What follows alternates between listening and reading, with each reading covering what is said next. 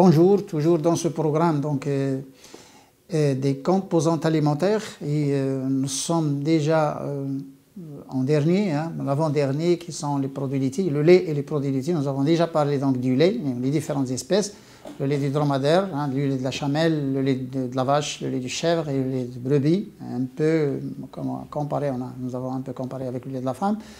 Et il y a des pays qui boivent aussi le lait de la jument. C'est aussi comestible, mais malheureusement, il n'y en a pas beaucoup et ça reste un produit un peu euh, à l'écart donc, de, la, de la nutrition, un peu, un, peu, plus loin de la nutrition. Et on va parler des produits laitiers. Donc, quels sont les produits qu'on peut préparer à partir du lait? Il y en a beaucoup. Donc, rien que les fromages, on a plus de 1000 types de fromages à travers le monde. Et pourtant, certains types de fromages maghrébins ne sont pas encore cités parmi les mille. Hein. Euh, les le klila par exemple, hein, euh, le klila maghrébin, hein, les Marocains, Algériens, Tunisiens, enfin tous les pays, ils connaissent bien ces pays, mais ils sont plutôt trop consommés. Ils sont consommés dans tous les pays, mais ils sont trop consommés au Maroc et en Algérie. Et euh, il y a même des études qui ont été faites donc, sur le klila algérien. Et il y a une thèse d'ailleurs qui a été faite en France. Et il y a des études qui sont aussi faites au Maroc donc sur ce clé-là, euh, qui est le même d'ailleurs. Et euh, pourquoi on, disons, on a quand même fait, pourquoi on veut parler des produits laitiers à part? Parce qu'il y a le lait des, différentes espèces et il y a les produits laitiers. Donc il y a des gens qui ne peuvent pas, bon, il y a des problèmes de santé, de la caséine par exemple, qui ne peuvent pas consommer donc le lait de vache, mais le lait de dromadaire est bon, le lait de la chamelle est bon, parce qu'il n'y a pas l'alpha SA, il n'y a pas la bêta-lactoglobine, qui est d'ailleurs euh, qui est d'ailleurs la cause de l'hyperactivité chez l'enfant et aussi donc certaines allergies. Et euh, les, personnes qui ne peuvent pas consommer donc, euh, le, lait en tant que tel, quand il est fermenté, il devient un peu plus digeste. Et ils peuvent donc consommer comme le lben, par exemple, et on va parler des produits maghrébins, pas des produits européens. Enfin, le fromage, de toute façon, nous, on ne sommes pas des pays de fromage, mais euh, un fromage spécial qu'on appelle jben, et il y a des gens qui ont traduit ce jben par fromage frais, c'est faux. Le, le jben, ce n'est pas le fromage frais, ça s'appelle du jben. Le semen, c'est le semen. Il ne peut pas, ne peut pas le traduire par le beurre rance. Et c'est pourquoi d'ailleurs je veux parler dans cet épisode donc, de ces produits-là, parce que la traduction, par, exemple, dans tous les cas, bon, euh, dans la plupart des cas, en tout cas, quand on traduit le nom, euh, on détruit le produit. Le produit est mort. Bon, les Européens ne connaissent pas ce que ça veut dire semen. Pour eux, le beurre, quand il est oxydé, c'est du beurre rance et c'est un beurre qui ne doit pas être consommé. C'est un beurre oxydé, c'est un beurre rance. Et ce rancissement, il donne un peu un mauvais goût. Et ça, c'est un beurre à ne pas consommer. Et le semen, ce n'est pas un beurre oxydé. Il n'y a pas d'oxydation. C'est un beurre fermenté. C'est un beurre lipolysé, mais il n'arrive pas au stade d'oxydation. Et c'est ça le fort de la technologie traditionnelle, technologie arabe surtout traditionnelle c'est qu'ils savent faire des choses euh, d'ailleurs de bonne qualité sans euh, avoir l'équipement ni les principes scientifiques. Ils ne connaissent même pas les principes scientifiques. Et puis on a le klila. Le klila, c'est un fromage euh, qu'on prépare à partir du, du, du On, laisse le lait fermenter, on, on obtient du lben. Et le leben, ce n'est pas un produit ensemencé, ce n'est pas un produit inoculé. Les gens qui achètent le leben dans les pays européens et américains avec l'appellation leben, c'est un produit inoculé. Ça veut dire que le lait a été pasteurisé et on a inoculé par des bactéries lactiques, mésophiles. Mais le leben, le vrai leben authentique, c'est le lait cru, abandonné à lui-même jusqu'à fermentation. Et après barattage, on obtient le beurre naturel, hein, le beurre Beldi, hein, le beurre bio, et on obtient du lben. C'est la vraie technologie. Bon, euh, les produits actuellement qu'on vend sous l'appellation lben ne sont pas des lben. Pourquoi? Parce que le lben exige un lait cru pour qu'il contienne les enzymes du lait, qui sont la LPL, la lipoprotéolipase, qui sont la, qui sont la phosphatase alcaline, qui sont la peroxydase, enfin les oxydases et la catalase d'ailleurs. Et il y a certaines molécules douées d'activité immunitaire qui sont des peptides. C'est ce qu'on appelle l'azote soluble, les protéines solubles du lait cru. Et c'est ce ces produits qui doivent se trouver dans le lben. C'est le fort du lben d'ailleurs. Et quand on enlève, d'ailleurs, les bactéries lactiques, quand on fait une fermentation lactique, donc les bactéries lactiques d'ailleurs, ils inhibent le cholestérol, ils désactivent le cholestérol. Pourquoi? Parce qu'ils ont des charges autour d'elles, la cellule bactérienne, que ce soit des lactobacillus, des lactococcus ou des leuconostocs ou des streptocoques, ça, c'est les bactéries lactiques qui sont douées de cette activité, c'est qu'ils fixent le cholestérol. Ils sont enrobés, ils, font un manteau euh, par ce cholestérol. Et, il se trouve que le cholestérol ne va pas se trouver dans le beurre Beldi, le beurre bio qu'on obtient par barattage, c'est-à-dire qu'on extrait donc de la fermentation pour obtenir l'huile Il y a moins de cholestérol, il n'y en a pas des traces de cholestérol d'ailleurs. Hein. Et c'est ce beurre-là qui va être destiné à fabriquer du semen.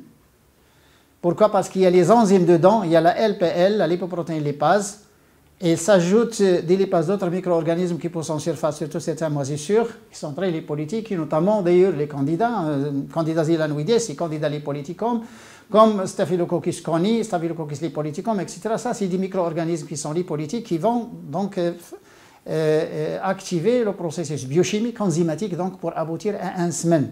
Il y a une hydrolyse de la matière grasse pour, obtenir, donner donc des acides gras libres, mais ces acides gras restent à, l'état acide gras libre.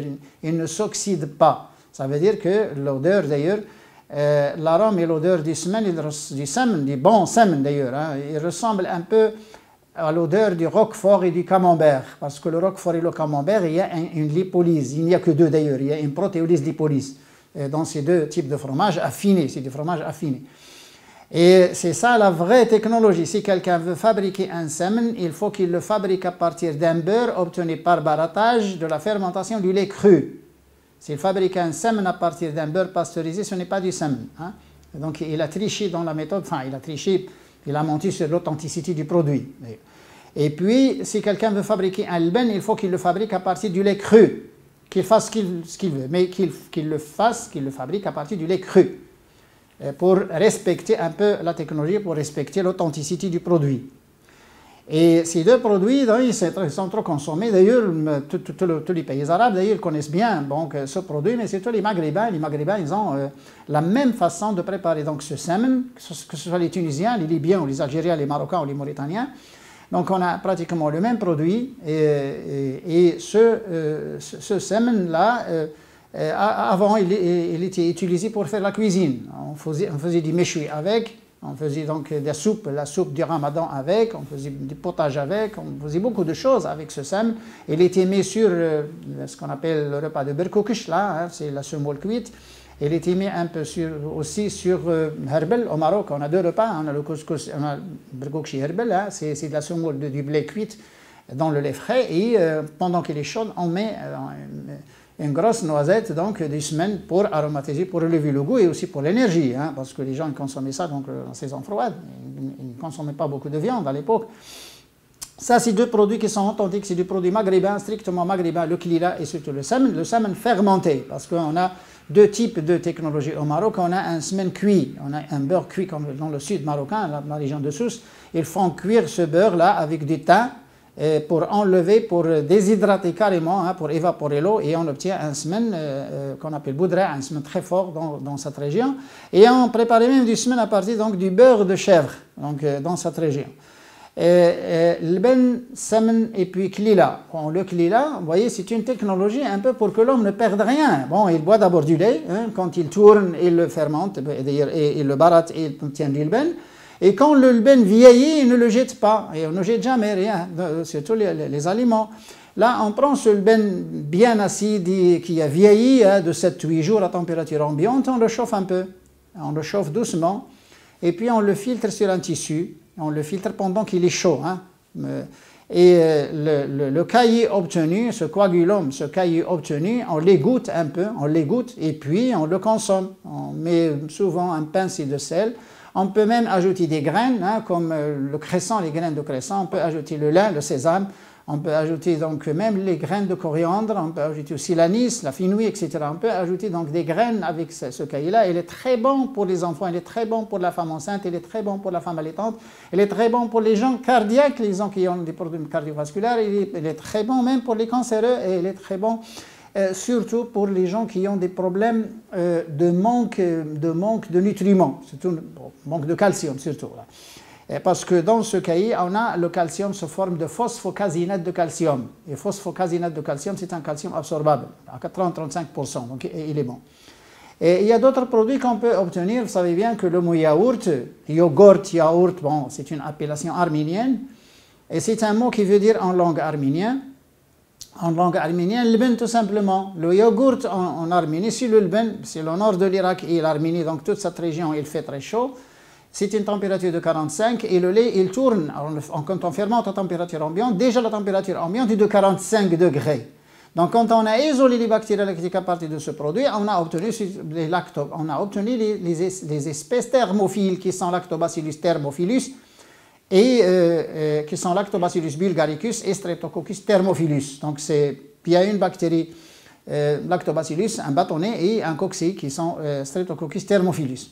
Et les deux, ils poussent à 45 degrés. Et bien, on s'est dit, ben tiens, on a maintenant le secret, bon, on a réensemencé le lait, on l'a incubé à 45 degrés et l'a coagulé en 4-5 heures. Et puis, on a constitué un procédé, une patente, c'est un process, donc il faut payer. Mais le produit, c'est un produit qui n'appartient à personne et tout le monde peut, tout le monde a le droit de fabriquer son yaourt. Bon, le procédé, euh, là, il vous oblige à payer donc la royauté quand vous utilisez les deux espèces. Et sinon, si on abandonne le lait à lui-même à 45 degrés, il va vous donner du bon yaourt, de très bons yaourts d'ailleurs. Pourquoi? Surtout le lait cru. Le lait cru, c'est mieux que le lait pasteurisé. Je le dis bien, je le dis trois fois.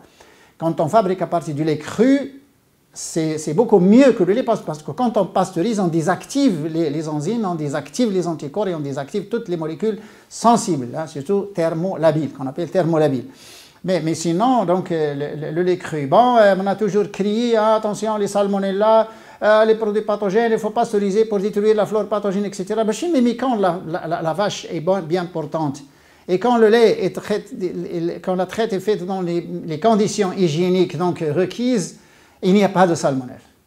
Il n'y a rien. Donc, on fait peur. les gens, là, il y a des salmonelles et tout ça, mais les campagnes au Maroc, en Algérie, en Tunisie, dans tous les pays, et actuellement, les agricultures là, qui fermentent les crues à température ambiante, on n'a pas de typhoïde, on n'a pas de cas de salmonelle, on n'a pas de cas de fièvre typhoïde actuellement dans nos pays. Mais on fait peur justement pour obliger donc, le consommateur à aller vers le produit industriel. Sinon, on sait fabriquer un très bon levain mieux que l'industriel, et on sait fabriquer un bon beurre mieux que l'industriel, et on sait fabriquer un très bon fromage, même euh, au niveau, euh, euh, même au niveau de ménager. Donc les gens peuvent fabriquer ces produits. D'ailleurs, tous, les Marocains ils savent bien faire, fabriquer donc, ces produits-là.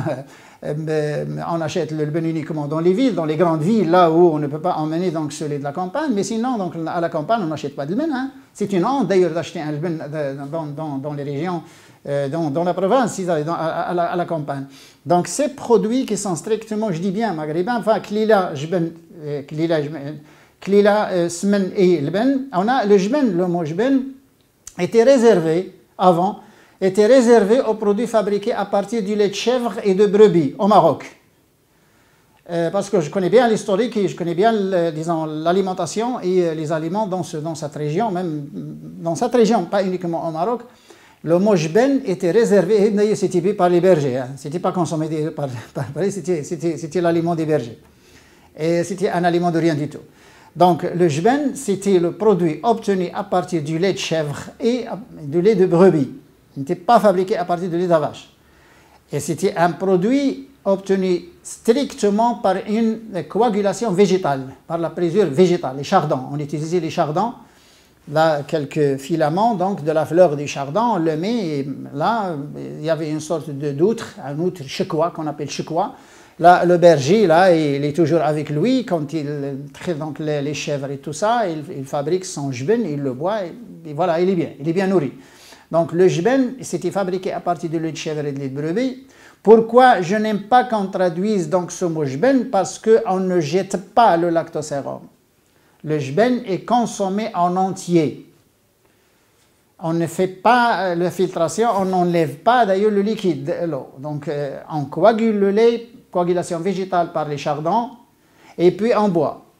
C'est tout. On, ne, jette rien. Donc le mot fromage, tous les types, toutes les marques dans tous les pays, le mot fromage veut dire, euh, euh, disons, euh, veut dire la séparation du caillé, du coagulum, à partir du lactosérum, et on jette le lactosérum et on garde le caillé. Dans tous les types de fromage, il n'y a pas un fromage qu'on en consomme en entier. Quand on coagule, on en consomme en entier. Il n'y en a pas, ça n'existe pas.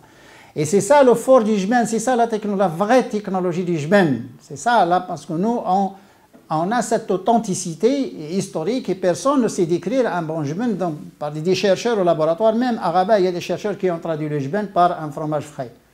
Et d'ailleurs, dans leur, ils ont publié des articles et ils ont même traduit donc, ce mot jben par le fromage frais. On a la région du Nord, euh, au Maroc, on a la région du Nord, on a un, fromage local là, où euh, euh, on enlevait un peu le liquide et on le, on vend sur une feuille du palmine d'homme, sur une feuille de palmine.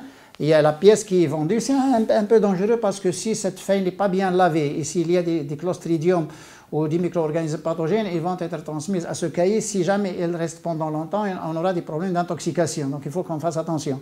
Dans cette région est connue par ça. Il y a des régions où on enlevait le clilat, on enlève le lactosérum, on chauffe et on filtre. Mais le jben, non. Le jben, le vrai jben, c'était fabriqué à partir des chèvres et on boit le tout. Pourquoi? Parce que l'homme a été toujours intelligent et ne rejetait rien. Pourquoi? Parce que quand on jette l'eau, on jette les vitamines hydrosolubles et il n'y a que les vitamines hydrosolubles d'ailleurs dans le lait, surtout les vitamines B et la vitamine C. On jette les, vitamines hydrosolubles et on jette les minéraux. Euh, tous les minéraux sont rejetés. Et puis les protéines solubles. Et c'est l'azote soluble, c'est la fraction soluble qui est très importante en nutrition. C'est cette fraction soluble qui est bonne pour surtout les enfants et bonne pour les gens qui ont une maldigestion. Oui. Et ça, il ne faut pas qu'on modifie cette technologie. Tout le monde, que je dis bien que tout le monde sait bien et peut bien fabriquer donc son propre produit à la maison. Et, donc, l'elben, euh, c'est un produit baraté. Je dis bien que le cholestérol est désactivé par les bactéries lactiques. Donc, il ne fait pas de mal donc, euh, aux malades, même, les cancéreux. Et puis le beurre beldi, donc il n'y a pas de mal. S'il est transformé en semaine, c'est encore mieux, surtout pour les autistes. Le semaine actuellement, c'est le meilleur produit pour les autistes, mais pas n'importe quelle semaine. Le bon semaine, le semaine authentique. Et tout le monde peut fabriquer son semaine. Il n'y a pas de problème. Surtout actuellement au Maroc, on a une, bonne production de lait. On a même une surproduction de lait, surtout pendant la saison euh, haute lactation. Et tout le monde peut bien stocker son, beurre et fabriquer, en, fabriquer du semaine. Il n'y a pas de problème. Et ça, c'est trois ans de recherche euh, dans le cadre d'une thèse, et puis euh, cinq ans de recherche après, c'est huit ans de recherche sur ces produits. Le benzmen là, etc., c'est pas, pas, pas n'importe quoi. Il y a des composés qui se trouvent dans le semaine qu'on n'a pas pu identifier. Même euh, couplage phase gazeuse spectre de masse, c'était à l'université Blaise Pascal à Clermont-Ferrand, on n'a pas pu identifier, même avec l'appareillage la plus sophistiqué au laboratoire. Hein, le système de Fourier et tout ça, on n'a pas pu identifier certaines entités chimiques dans le semen. On n'a pas pu les identifier. Et puis, ce qui est bizarre, c'est que quand on fait maturer, c'est-à-dire les fromages, les fromages, quand, quand on fait l'affinage, c'est un processus très long, hein, on obtient les mercaptans à la fin. On obtient des produits très volatiles, les mercaptans, qui sont caractéristiques d'ailleurs de, euh, l'espace de tête, quand on analyse l'espace de tête donc, de ces fromages. Mais on ne trouve pas de mercaptan, on ne trouve pas les méthylcétones, on ne sait pas où ils sont, mais on ne les trouve pas dans le semen. C'est des choses qui sont très bizarres. Parce que même dans la recherche, attention, ne dites pas que la recherche actuellement elle est à la fin, il n'est pas à la fin. Il a tout fait, il n'a pas, tout fait. Il y a encore des choses qui sont méconnues, il y a encore des choses donc à, à découvrir. Il y a même certains peptides qui ne sont pas encore identifiés dans certains types de lben surtout le temps de fermentation et surtout la nature de la flore de fermentation, la température de fermentation et surtout la nature de l'alimentation de l'animal, donc de, la vache laitière. Donc ces produits laitiers, bien sûr, je ne parle pas d'autres fromages qui sont les fromages affinés ou les fromages frais, soit fromage frais type suisse, type suisse, soit fromage euh, grand format type euh, euh, camembert, romano, roquefort, etc., gouda et tout ça, ça c'est du fromage un peu qui, qui, ont un caille très, très solide et tout ça, mais entre les deux, soit une coagulation lactique, on obtient un caille mou, humide, qui ne laisse pas de l'eau, hein, qui ne laisse pas partir de l'eau, soit un caille solide, là, poreux, là, il perd de l'eau et on a ben, un rendement, un faible rendement fromager. Donc les fromagers n'aiment pas ça. Donc ils travaillent entre les deux. Ils mélangent la fermentation lactique, la coagulation lactique avec la coagulation présure. Ils jouent avec cette combinaison pour avoir, disons, la pâte qu'ils cherchent, la pâte qu'ils veulent, la texture qu'ils veulent. C'est soit un emmental, soit un brie, soit un romano, soit un roquefort, soit un camembert, ou un cheddar, ou un cottage, ou euh, disons un mozzarella, ou un ricotta par exemple. Le ricotta il est cuit, donc euh, c'est ce qui reste du lactosérum, il est chauffé et euh, c'est une deuxième, un deuxième procédé. Le ricotta n'est pas préparé directement, il est préparé à partir donc du lactosérum des autres fromages. Et, là, il y a toute, une, technologie, mais pourquoi j'ai bien, je me suis concentré donc surtout sur les quatre produits que nous avons dans ces pays, parce que c'est les meilleurs d'ailleurs, c'est les meilleurs. L'ben, Klila, Jben, Ismen, c'est les meilleurs d'ailleurs. Euh, certaines personnes cherchent à préparer un, fromage à partir du lait dromadaire. Et là, et là euh, j'ai toujours rigolé, c'est comme ça, parce que la nature donc, de ce lait n'est pas fromageable. Et quand on se dit chercheur, il faut au moins connaître les propriétés des aliments pour faire la recherche. On ne connaît pas les propriétés d'un aliment et puis on fait de la recherche c'est ça, c'est bizarre, c'est très bizarre. Parce que même dans la recherche, parce que même dans les recherches, il y a des gens qui, ne sont pas doués pour la recherche. Et on veut préparer un fromage à partir du lait dromadaire. Ça ne se prépare pas. Pourquoi? Parce que le lait dromadaire, il n'y a pas l'alpha SA, il n'y a pas la caséine alpha SA, il n'y a pas la, alpha SE, et il n'y a pas de bêta-lactoglobuline. Il n'y en a pas. Et c'est la alpha SA, la grosse caséine, c'est la alpha SA qui donne d'ailleurs la, propriété fromageable, la qualité fromageable du lait. Le, lait de la vache, il est très riche en alpha SA, mais le lait dromadaire, il n'y a pas d'alpha SA, il y a des traces, il y a des très peu. Ça veut dire que c'est un rendement. Soit c'est un lait qui, ne coagule pas, soit un lait qui va vous donner un rendement de 0,2%. Hein. Coaguler 100 litres de lait de dromadaire pour obtenir même pas euh, un 1 kg ou 2 kg de fromage, c'est pas rentable. Sinon, on va perdre toutes les, euh, on va perdre donc euh, tous les composés chimiques et biochimiques qui sont très importants du point de vue nutritionnel et on va garder un, petit quelque chose de ce lait de, de dromadaire. Le lait de dromadaire doit être consommé en tant que tel même fermenté, même acidifié, même quand il reste une semaine tout ça, il peut être consommé sans aucun problème. Pasteurisation, oui, non, euh, si on veut l'utiliser comme un aliment, c'est bon. Si on veut l'utiliser pour autre chose, donc il vaut mieux le boire à l'état cru. Mais sinon, mieux lait de dromadaire pasteurisé que rien. Bon, pourquoi ne pas le pasteuriser et puis le vendre dans notre ville, le transporter Parce que pasteurisation, ça veut dire qu'on augmente le shelf life, on augmente la durée de vie donc de l'aliment.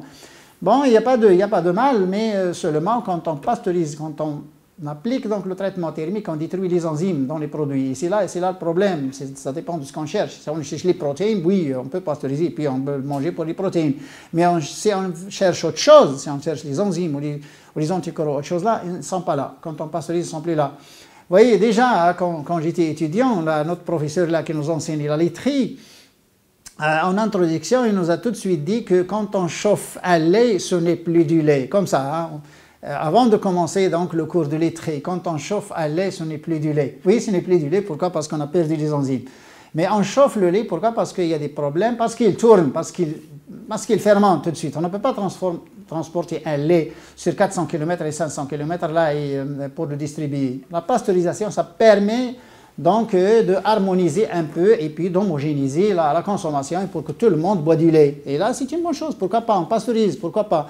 Mais seulement, euh, il faut dire que euh, la meilleure qualité du lait, c'est le lait cru, mais on ne peut pas consommer du lait cru. Si on a, oui, pourquoi pas, mais si on n'a pas, d'ailleurs, les pays européens, on a, on a le lait cru des fermes contrôlées par par le service vétérinaire. Il y a des fermes qui sont contrôlées par le CVE et on vend le lait cru. Le lait cru est vendu dans les supermarchés, il n'y a pas de problème, il faut que ce soit contrôlé, c'est tout. Sinon, euh, on aura des épidémies, on aura des problèmes. Puis, rare, un peu rare, comme d'ailleurs la, brucellose ou la, fièvre typhoïde, certains échérichia coli à la rigueur. On n'a pas de problème, pas encore au Maroc, on n'a pas encore de problème de l'hystéria. Euh, c'est surtout les Européens, les Américains qui ont des problèmes de l'hystéria, les Canadiens et euh, les Européens. Mais au Maroc, même au Maghreb, je ne pense pas que le listeria nous pose un problème. Pourra nous poser un problème, pourquoi? Parce que c'est un micro-organisme industriel. Donc il, pousse entre 4 degrés et 45 degrés. Hein. C'est ça, ça, ce qui est bizarre dans ce micro-organisme de listeria. Listeria monocytogénèse, il y a d'autres espèces. Bien, bon, euh, je pense qu'on euh, on a un peu donné euh, quelques idées, les gens qui veulent quand même connaître cette culture alimentaire, pourquoi pas, et un autre épisode, Inch'Allah. Salam alaikum.